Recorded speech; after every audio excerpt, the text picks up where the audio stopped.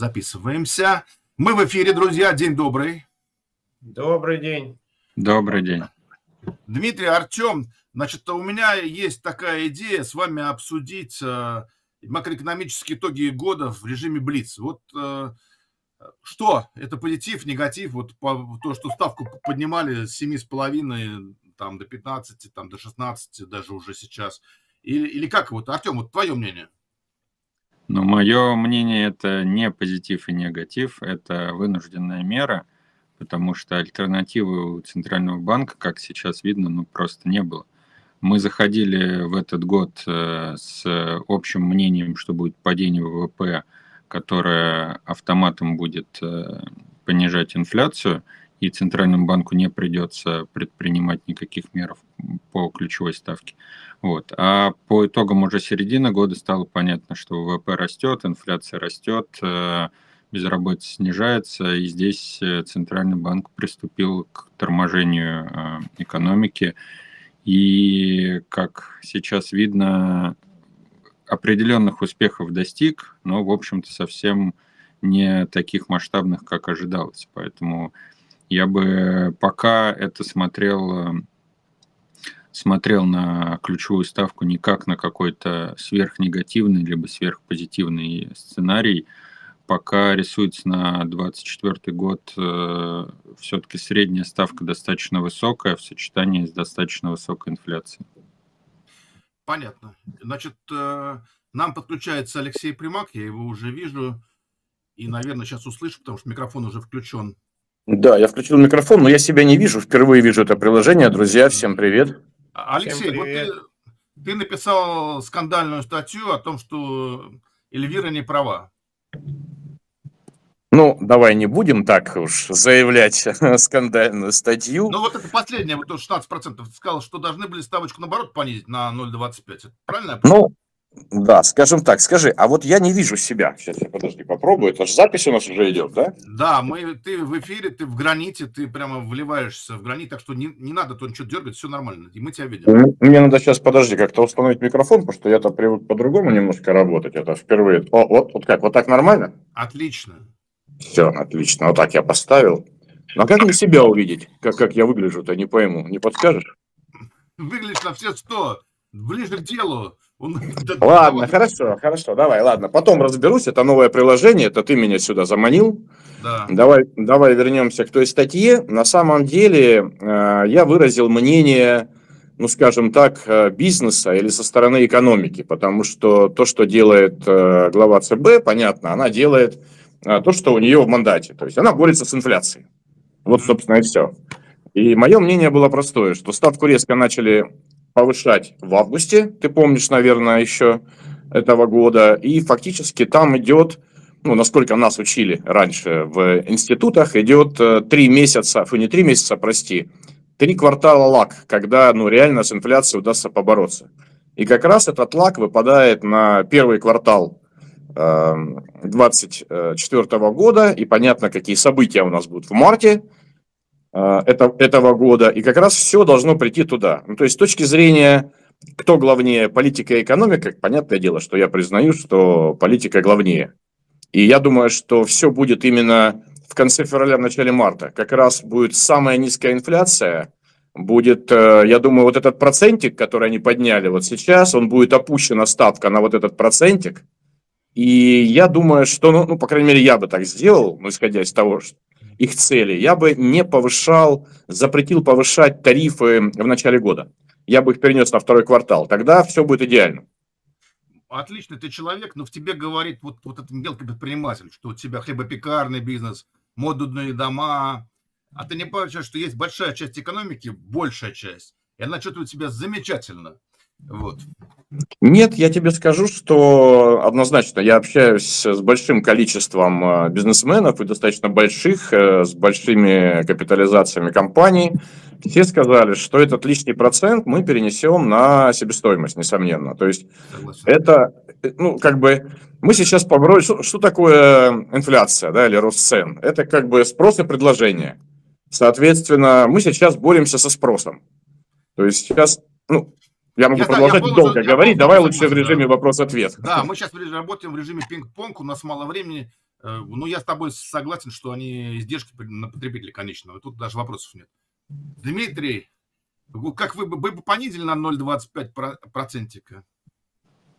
Я бы вообще не поднимал ее в августе до такого уровня. Смотрите, у нас э, есть военно-циклический подъем, если своими словами говорить, и он всегда проинфляционный, и всегда это связано с, ну, с э, большими бюджетными дефицитами, с э, разгоном перерабатывающего сектора. А, но по большому счету, с точки зрения ЦБ, скорее тут сейчас идет про слом парадигмы. Понимаете, какое дело? ЦБ а почему он игнорирует на самом деле реальный сектор всегда? Потому что он э, говорит, что ну вы не понимаете, вот ровно как Андрей сказал, что ну какой-то мелкий предприниматель, вы не понимаете глобально, что происходит, потом приходит предприниматель покрупнее, ему говорят, вы не понимаете, как вообще живут крупные компании, потом приходят крупные компании и говорят, что вы не понимаете мировой обстановки и так далее и тому подобное. То есть э, ДКП сейчас не, ну, во-первых, она не предполагает, строго говоря, учет интересов реального сектора, а действует из такой старой глобалистской повестки, которая сейчас демонтируется. А во-вторых, действительно, это сторона спроса, просто, а не сторона предложения. У нас инфляция вызвана э, будет тарифами, а, удорожанием логистики и прочим, прочим. И ставка это исправить в принципе невозможно. Поэтому ставку, ну, понизит, понизит, повысит, повысит. Бизнес потихоньку от, отвязывается от ставки, это видно и по ОФЗ, собственно, рынку. Ну, это государство, правда, не бизнес, но все равно госбизнес, да, и госпредприятия. И по всяким льготным программам, по промоипотеке, например, той же, э, которая, собственно говоря, все равно она будет 5%, там, вне зависимости от какая ставка, просто государство там возьмет на себя разницу. Поэтому ДКП у нас становится вещью в себе, и, ну и будет вещью в себе, но она будет влиять уже там не на 80% бизнеса, а, допустим, на 30 или на 50%. Да, да, да. Вот такая трагическая, трагический момент. Кто-то вынужден пояса затянуть, а, а инфляционные ожидания населения растут. А можно пинг-понг мячик на мою сторону, Андрей? Давай, начинай. Ну, во-первых, я приветствую Дмитрия. Я не знал, что он здесь с нами в эфире. И, а у нас рекламу можно говорить в эфире, Андрей? Конечно. И я хочу вообще Дмитрия поблагодарить за его телеграм-канал. Это единственный телеграм-канал, который я с удовольствием читаю. Ну, ты, наверное, знаешь, что у меня свое мнение по всем вопросам есть. Но единственный телеграм-канал, который нашел, который по фикстинкам, который по облигациям, по процентным ставкам, который я с удовольствием читаю. И там есть свое мнение, не какой-нибудь там блогер или инфа, сейчас говорят барон, опасно называть другое слово. Дмитрий, мой респект э, вашему телеграм-каналу. Единственный, значит, ты у меня в закрепах. Ну, то есть у меня есть всего пять каналов, которые я читаю, и ты туда входишь. Спасибо большое. Спасибо вам. Читайте дальше. Мы сейчас еще что-нибудь напишем. Отлично. Вот по поводу 0.25, Андрей. Я имел в виду, что понятно, что 0.25 роли не делает. Я имел в виду, что было бы здорово дать сигнал рынку, что с инфляцией мы поборолись, что теперь дальше все будет хорошо, дальше нас ждет как некое плато, и мы будем смотреть на цифры и дальше будем понижать. Это с точки зрения пользы для экономики, я думаю, это была бы польза. Ну, может быть, Дмитрий со мной не согласится, подискутирует. А слушай, а вот так, такой вот, э, и давай я подискутирую вместо Дмитрия с Артем Сергеевичем. А вот ты не думаешь, что такой момент, что есть у тебя огнетушитель, и когда вот э, разрядишь э, его полностью, да, чем ты будешь пожар, собственно, тушить? Ну, в применительно ключевой ставке действительно, ну, по сути, мы разрядили огнетушитель, потому что куда дальше повышать в борьбе с инфляцией? А, что делать? Э, ну, есть отличный подход э, «сгорел сарай, гори и хата», то есть мы всегда можем перейти в режим высокой инфляции в сочетании с высоким ростом ВВП. И вот последняя новость, которую я сейчас обдумываю а, по поводу 80 проектов Skyner на 20 триллионов рублей, это ни много ни мало больше 50% расходов э, федерального бюджета на 2024 год дополнительно приходят, э, видимо, как-то в нашу экономику и в экономику КНР, и, э, ну, очевидно, будут вызывать рост ВВП, и крайне маловероятно, что не вызовут рост инфляции. Поэтому, возможно, мы сейчас приходим в некий в некий э, факт, что инфляция высокая с нами надолго, ключевая ставка высок с нами надолго. Впрочем, всем будет все равно, потому что у всех есть работа, и у юрлиц, и у физлиц, и, в общем-то, будем жить э, в, период высоких ставок. А, мне, как бандовику, ну, это крайне не нравится. С другой стороны, пока заказы есть, экономика работает, маржа получается, какое-то время это будет работать. Э, тут э, я с Дмитрием немного поспорю насчет того, что экономика отвязалась от ключевой. Но трудно отвязаться, когда у нас, по-моему, 70% корпоративных кредитов э, привязаны к ключевой. Корпораты полгода жили а, с высокой ставкой, видимо, еще полгода будут жить, и у нас накопится 12 месяцев уже высоких расходов по кредитам, которые негативно повлияют на их балансы уже корпоратов. А, мы уже видим эффект э, там, такого рода в Сигеже и в МВидео. Ну, дальше будем видеть все больше, больше, больше.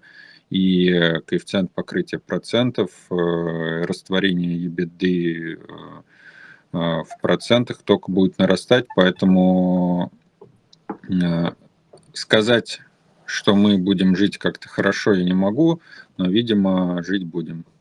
Я а согласен. можно вопрос Артему? Да. Артем, а вот ты говоришь, что э, процентные ставки для корпоратов привязаны к ключевой. Что ты имеешь в виду? Вот эти как истории, когда ставка выросла и у тебя кредит вырос. Насколько я знаю, никакой привязки нет. Ты кредит получил, никаких вот эти МИБОР плюс 2, там ключ плюс 3. Я не слышал э, в реальном бизнесе такого. А, Откуда статистика 80% привязки кредитов к ставке? Вот я могу сказать, что э, все юрлицы, с кем общаюсь, э, они говорят, что, в общем-то, других ставок им сейчас и не предлагают банкиры. Но это если ты новую берешь, а если у тебя ты получил ставку там в июне? Э, в июне это хорошо, но у нас как бы кредиты годовые, часто, да, ролируются. Я говорю про 70%, это то, что последнее слышал. То есть это постепенно нарастала привязка кредитов к ключевой ставке, там 40, 50, 60 ну, на фоне роста ключевой стали выдавать по сути, только кредиты, привязанные к ключевой. И это же касается, на самом деле, и облигаций. То есть даже крупные корпораты стали переходить на флоутеры. А что это такое? Это опять привязка к ключевой ставке. А, ну, помимо уже нашего Минфина, который тоже так ни много ни мало, 40, по-моему, 40% э, новых э, выпусков облигаций тоже привязал э, к ключевой. То есть э, я это имею в виду, и я только, только порадуюсь за те компании, которые сейчас в фиксах. А, и действительно есть еще льготные кредиты, то есть часть компаний у нас э, наслаждается какими-то низкими ставками, но если говорить про экономику в целом, ну окей, а, заказчик с дешевым кредитом, а подрядчик э, будет с дорогим, то есть это все равно какая-то нездоровая история. А Понятно, спасибо большое. Нужно, Дмитрий. А, ну, смотрите, Артем совершенно прав, это в любой кризис так и происходит, но тут надо понимать две вещи, что когда а кредит-то тоже бесконтрольно расти не может, как только у вас появляется ситуация, что кредит дороже, чем собственный капитал, все просто идут на IPO, ну или на какие-то нерыночные размещения. И второй момент, э, как раз вот когда подрядчик э, с высокой, а заказчик с низкой, то, скорее всего, подрядчик просто поглотят. И, соответственно, это вызовет и перераспределение капиталов, и много всяких, э, как Андрей говорит, шурум-бурумов. Конкурентная борьба. Ну да, то есть поэтому у нас, собственно, и э, вот эта прелюдия, она, безусловно, ведет к тому, что на рынке будет все меняться, э, будут IPO новые, будут какие-то поглощения. Опять же, NVIDIA, Сигежу, ну, докапитализуют их или, или они пройдут через очищение рестрактом, но все равно это будет какое-то изменение. Собственно, э, у нас то же самое было в 2015-2016 году, всем было страшно, но потом все было нормально. Друзья, не очень много у нас времени, совсем, можно сказать, мало, поэтому... Три мы... момента, можно я скажу, Андрей, еще как бы в ответ? Пинг-понг говорит, пинг-понг. Да, в ответ на коллег. Ну, во-первых, э, действительно, зеленая улица предпринимательства есть, особенно ты производитель. Вот как вот у меня сзади зеленый фон в моей студии – Тебе готовы давать э, любую помощь, э, подключать электроэнергию по льготе, давать промышленную ипотеку 5 годовых, лизинг 5 годовых. Я побывал в регионах, я был в Татарстане, я был на юге России. Прям зеленая улица. Никогда такого не было, чтобы я зашел и замминистра по экономике Ростовской области общался. Надо это, скажите, что вам нужно, только приходите к нам, давайте делать. Но при этом ставка у меня 20 годовых, э, кредитная линия э, под оборотку. Вот. Э, отвечая на вопрос, на комментарий Дмитрия, что все пойдут на, на IPO, я общаюсь со многими людьми, и раньше общался, ты помнишь, Андрей, мы там IPO делали еще в Атоне, и был классический пример Тинькова, когда к нам приходил Тиньков, и мы его тогда с ЛЗы уговаривали, давай мы тебе IPO сделаем. Он говорит, парни, вы не понимаете, мне не надо IPO, хочу занять денег. Да ты что, как раз ставка тогда как раз была 20, это я точно помню. Он мог разместиться только под 20. Мы говорим, это очень дорого. Он говорит, нет, я расту на 60, мне наплевать на IPO. Я не хочу на такой растущей компании делиться долей, пока я бурно расту, там условно, это был еще его пивной бизнес, там, удваиваясь каждый год. Вот когда я вырасту, выйду на плато, вот там я сделаю ПО. А сейчас зачем мне делиться дешево с вами долей? Я лучше займу, мне наплевать, что на 20. Поэтому только инсайдер внутри знает, что ему лучше, IPO или занимать.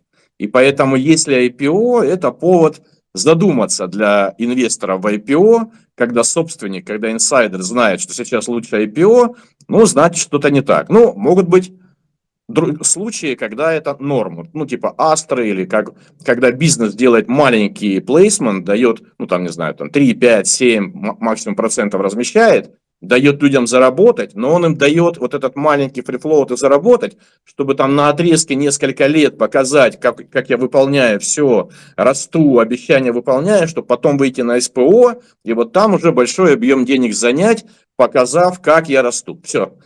Извини, Андрей. Так, ну я, я тоже с Дмитрием позволю себе не согласиться, но в каком ключе? А, для меня а, рост числа IPO, слияний и поглощений выглядит каким-то ну, сверх э, положительным сценарием, когда вот переложили все проблемы бизнеса на плечи ритейл-инвестора, который с удовольствием профинансировал дальнейший рост вместо кредитования через капитал. Ну, я бы, конечно, очень хотел на это надеяться, но что-то меня останавливает. То есть э, вала IPO-то нет, но у нас э, как бы одно-два в месяц, это вот сейчас такой рекорд. Но даже если мы будем делать 5 э, в месяц всем рынком, это ну, 60 компаний э, в год выйдет на Мосбиржу. А сколько у нас бизнеса в России? То есть это же, ну, по сути, несравнимые цифры. Что не делай, основной источник денег у нас сейчас э, это банковский сектор, а там все привязано к ключу и, и что, а, ну, в лучшем случае вот слияние поглощения не публичные могут как-то спасать ситуацию. Я допускаю, у нас же очень сейчас бурный 22-23 год, все фонды, все спецы по слияниям, поглощениям, я так понимаю, не спят э, круглые сутки, только работают. Закр... Ну, сейчас какой-то а, бум слияние поглощений, уходят иностранцы, зарабатываются капиталы, и дальше эти капиталы надо будет дальше осваивать, пойдут уже по хорошим компаниям российским, но э, это если звезды совпадут. Поэтому я бы... Почему-то у меня не рисуется сверхположительного сценария на 24 год. Так, друзья, ну, давайте не... финишировать. Да, да, Устами Примакова, Примака начнем, Алексеев, финишировать уже. Я предлагаю сделать специальный такой новогодний, если вы не против, э, стримчик такими, вот, где будем крупными мазками рисовать прогнозы на следующий год. А сейчас очень коротко. Скажите, какая будет инфляция, какой курс доллара и что будет с облигацией через год? Ну вот кто у нас вот самый такой вот? Алексей Примак, боевой сегодня. Да, легко. Я думаю, что в первом квартале ничего не будет плюс-минус э, с курсом ничего не будет. Э, инфляция к концу квартала начнет падать, и мы увидим э, к концу года ставки условно 13-14, ключ я имею в виду, и, соответственно, ставки еще ниже. Я не вижу ни, ничего интересного в целом в рынке акций, но только какие-то отдельные истории, которые будут стрелять. И впервые в жизни, ну как в жизни, я имею в виду, за последние годы я обратил внимание на облигации, мне стало интересно. У меня много лет не было облигаций вообще. Я вообще не видел смысла инвестировать там в долларах под один, а тут там под там, 4, там не помню какие были ставки. При этом ты несешь риск банкротства, ну там и так далее, и так далее, и так далее. Ну вот если коротко, такой прогноз. Понятно. Так, э, Дмитрий, поскольку Алексей сделал тебе респект твоему каналу, то вы обязаны просто договориться о точном времени проведения этого марафона. 3 января 17.00 его устроит. Никто же не знает, чем закончится Новый год, поэтому... Да. Э, Маленький прогноз в формате Блиц. Бампс. Я тут случайно дал такой прогноз, уже при, а поскольку это выйдет в печатном виде, то придется с, ему соответствовать. То есть, э, судя по тому, что тарифы поднимут, инфляция по году будет реальная 15, Росстат нарисует нам 6-7, а, соответственно, курс доллара чуть припадет, э, а, будет там средний, наверное, э, около 80-85, но средний по году. В конце года, я думаю, что он где-то как раз ниже 80 чуть может уйти, если нефть подрастет. А рынок, поскольку доллар его прибьет слегка, ну, скажем так, дешевеющий, он тоже вырастет там в меру инфляции. И у нас получится такой нулевой вариант, что суетились, суетились, а получилось то же самое, как вот в реальном выражении депо у вас на сегодня было, так оно через год и останется. Если вы, конечно, не купили ОВК. Понятно. Ну, э, Артем, тебе полезно финишировать, так сказать, поставить жирную точку в нашем... Ну, видишь, поле. я такой как-то э, негативист сегодня, не знаю почему. Э, думаю, что инфляция даже официально будет в районе 10, ключ, ну, наверное, будет понижать, но это 13-14. Что касается рынка, ну, видимо, акций, да, боковик, действительно, мне кажется, это наиболее вероятный сценарий. И боковик может быть даже на несколько лет, э, если не произойдет чего-то там нового. Вот. А, к сожалению, но ну, мы зависим от э, нефти. Да, завтра нефть упадет, и какой там боковик будет падение. А завтра новая волна каких-то э, мировых точек напряжения, у нас экспортные товары подрастут, и мы будем еще и расти. Поэтому, конечно, предсказывать сложно, пока вот из текущего видится высокая инфляция, высокоключевая и боковик. Можно, Андрей, я добавлю негатива тоже, а то я самый позитивный оказался здесь. Давай. А, я, я бы добавил негатива. Как-то все очень забыли, что произошло во время пандемии, во время ковида, когда все встало, товары перестали, вот эти, когда был проблема с перевозками, проблема со связями, и все встало, и поэтому рынок тогда рухнул американский на 20%, если ты помнишь, весной. Но его залили деньгами, и он там раскочегарился и ушел. Сейчас очень похожая ситуация. Были проблемы с Панамским каналом, он там засох.